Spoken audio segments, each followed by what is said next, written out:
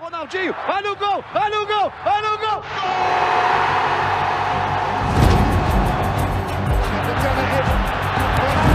Eu não tenho facilidade para rir, meus dentões aqui, eu fui meio para frente. It was like playing with Michael Jordan.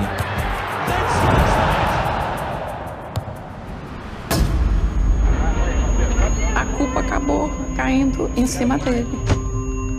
Não foi só o fato de perder uma Copa. Eu poderia ter perdido meu filho num problema muito sério. O que eu não sabia era que ia piorar muito ainda nos próximos anos.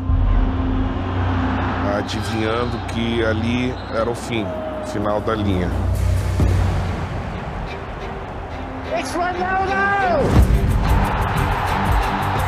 He was born to be the phenomenon. God said, You're the one.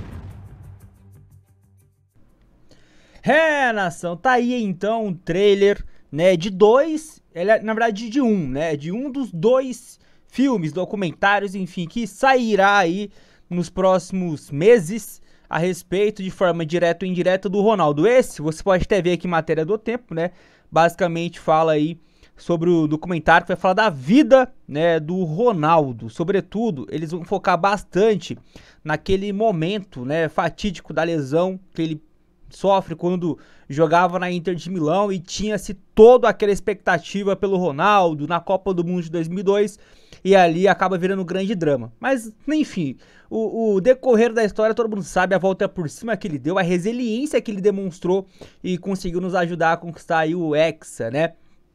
Aliás, o Penta, né? O quinto título da Copa do Mundo em 2002. Agora sim estamos rumo ao Hexa.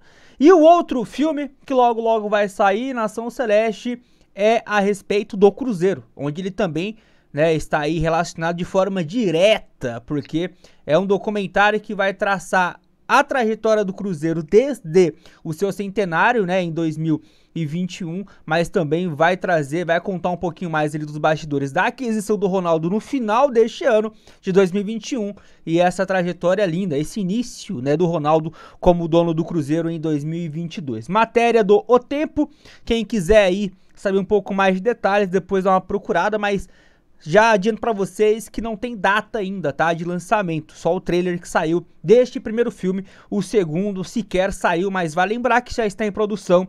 Tanto é que naquele jogo contra o Grêmio, o Pedro Solano, né, tava com um gravador já justamente para esse documentário barra filme que vai sair aí dentro dos próximos meses. Esse do Cruzeiro já tem uma expectativa, né, que sai em janeiro, justamente mês do aniversário do clube. Fechado, nação! E se chegou até aqui, deixa o like, ajuda demais o canal, se inscreva, até a próxima, fiquem com Deus, eu fui e tchau!